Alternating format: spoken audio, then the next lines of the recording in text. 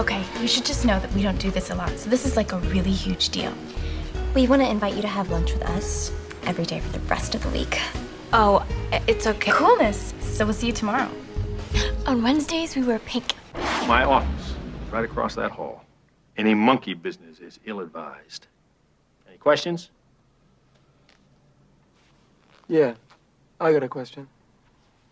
Does Barry Manilow know that you raid his wardrobe? Give you the answer to that question, Mr. Bender, next Saturday. Don't mess with the bull, young man. You'll get the horns. Shut it down, boys.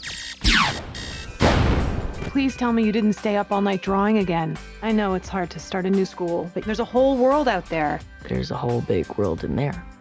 Everything you have on is breaking rule number 22. What's rule number 22? The code of conduct. Read it. Look what's happening to your shirt. Nobody needs to see where your chest hairs are going to be. It's a good day. Oh, Sandy.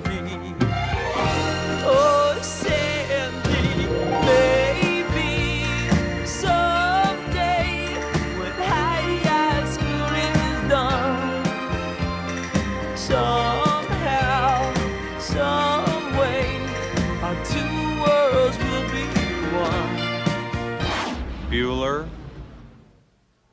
Bueller. Bueller. Um, he's sick. My best friend's sister's boyfriend's brother's girlfriend heard from this guy who knows this kid is going with the girl who saw Ferris pass out at 31 Flavors last night. I guess it's pretty serious.